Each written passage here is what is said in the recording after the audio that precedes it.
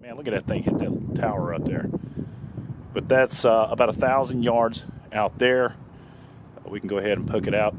That's a thousand yards there, and then back over here, and then we can put it in front of us.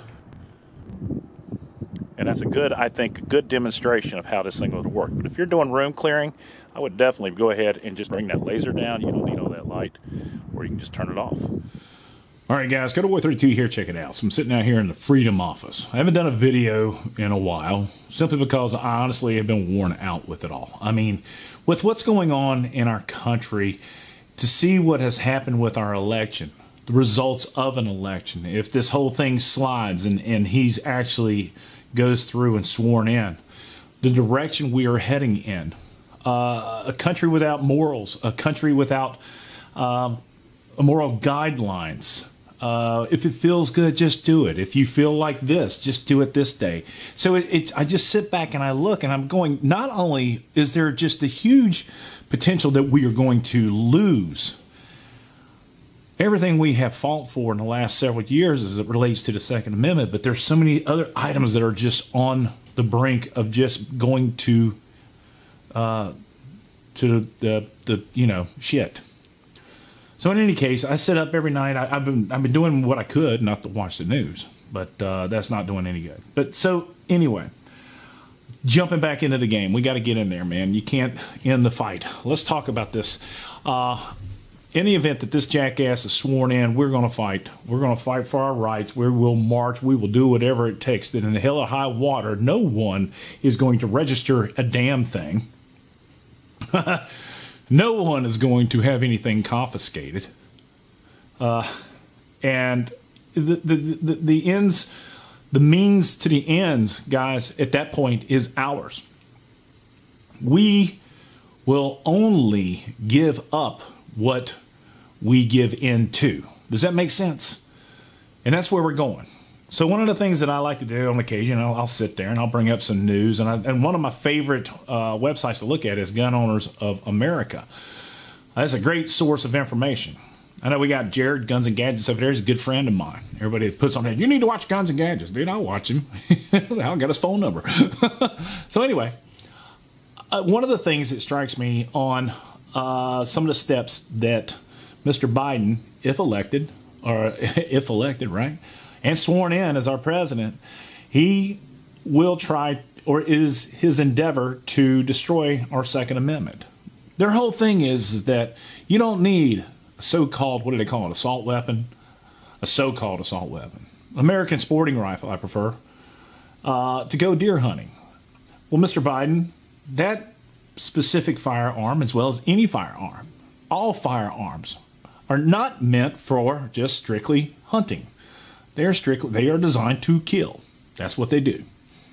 And at the end of the day, the byproduct is we can go shoot three gun, we can go shoot skeet. But at the end of the day, every firearm that is ever produced is designed to not only be accurate, but it is designed to kill. And that's the whole thing that these people don't get is that, well, at the end of the day, uh, all firearms are going to be regulated one way or another. Don't don't let them kid you. Oh, you don't need this. Get a shotgun. Get a shotgun. Bullshit. I have to laugh. So, one in looking back at all the little steps, and we're, we're going to get to the point right now. Man, it would have been a three minutes into this whole video. Uh, I, I, looked at some of the things on an article, and I've discussed these in the past. I've, I've gone through them in detail, but I'm looking at some of the items that have the greatest potential to pass without inflicting or constricting our constitutional rights. Now, one of the things that Donald J. Trump did is he he put an individual on the Supreme Court. Hell of hot water, they made it happen. Okay, and that is one of the most important things that we have on our side right now. We have federal judges, we have Supreme Court judges who are like minded in that they know that the Second Amendment was written for specific reasons, not to be interpreted as a National Guard or, you know, only in your home or anything else. These guys will try to push everything they can to the limit. So there's one thing that really chaps my rear end in this whole deal is banning the sale of guns, ammo, and gun parts online. I can I think it's kind of interesting is that they say banning the sale of guns online, banning the sale of ammo online, banning gun parts online. That's what that means. In the online sale of firearms and ammunition, Biden will enact legislation to prohibit all online sales of firearm, ammunition, kits, and gun parts. That's totally unconstitutional, as far as I can see it. But part of it is is a total lie.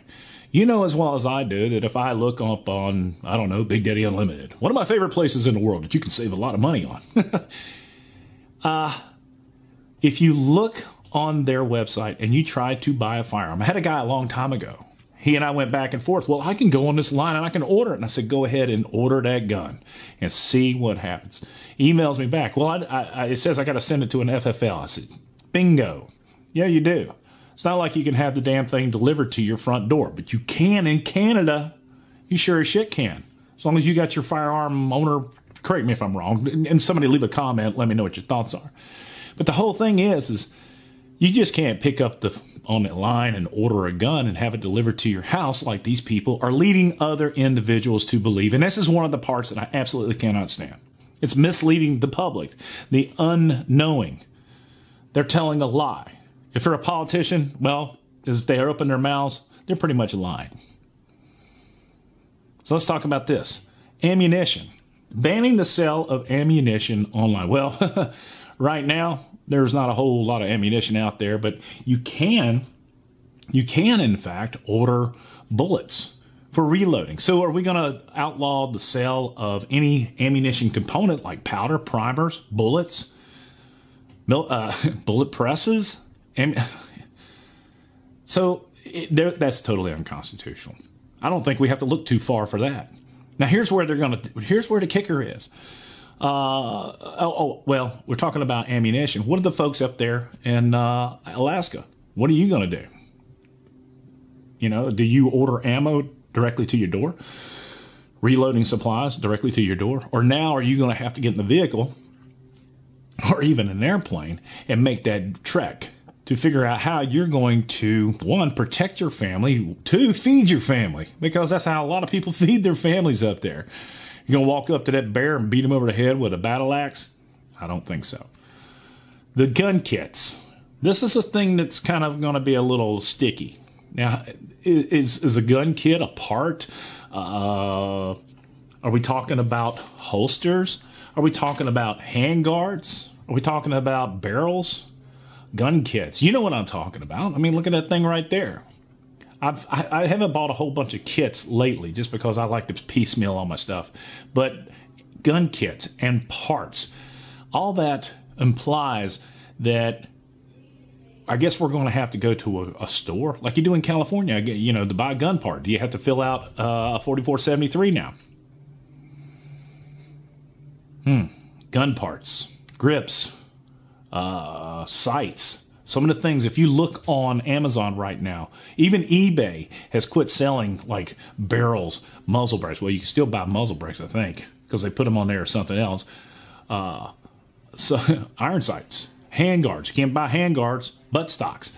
All those items, triggers, any of that stuff. It's unbelievable that what they will do is they will try to eliminate your ability, one, to protect your family, what is which the Second Amendment was designed to do, as well as protect our country from a tyrannical government under the guise of safety for everyone.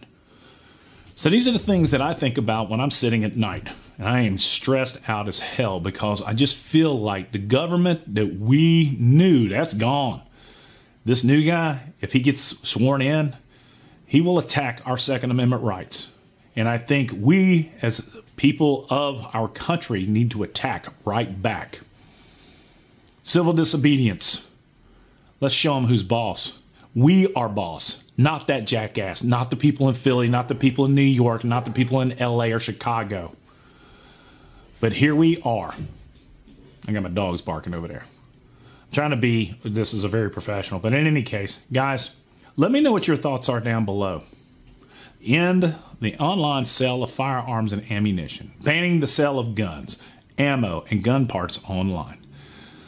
Do you think that's constitutional at all? And I know the guys over there at Armslist, they got to be pissed off as hell with this BS and trying to keep everything smooth. And you know what? USA. All right, guys, well, that's it. I'm looking at those individuals out there, the men and women in uniform. You guys are going to have to reach down. I say it again and figure out what side of the Constitution you're going to be on the right or the left. And if you're left, you're wrong. Kotaboy 32. If you like this video, please give it a thumbs up. Subscribe if you haven't already done so. Support red, white, and blue. God bless America. God bless those men, women in uniform who support our Constitution as it was written by our founding fathers 24 7 for, for freedom. Freedom's not free. Y'all be good. Love you long time. Take care.